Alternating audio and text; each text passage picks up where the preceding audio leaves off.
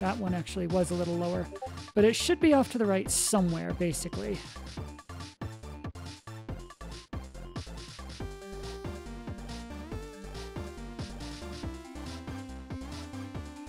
So that last run didn't work, but anyway, so you fly to the right, do a single loop around um, around this course, but not like single loop as in the game mode, because this is very much, you know, just a single level. But uh, yeah, so the first three birds, Seirea is pretty much figured out.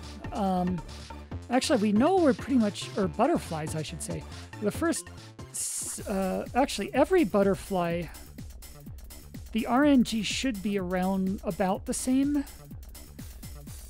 Uh, thanks to Seirea figuring out that if you just start it and, you know, the, the, the RNG seed appears to be the same. And Zarkonis was one who figured out that if you fly to the right for a loop, um, you tend to get better RNG. But it's like, it's still not perfect for the last few ones. But it gets us, it gets us the first ones.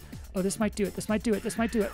Oh, no screwed by the how long it took to walk across the nest. Ah, that's a 107. Hecking heck. Hecking heck. That would have done it. That would have done. Okay, you know what? Let's keep going then.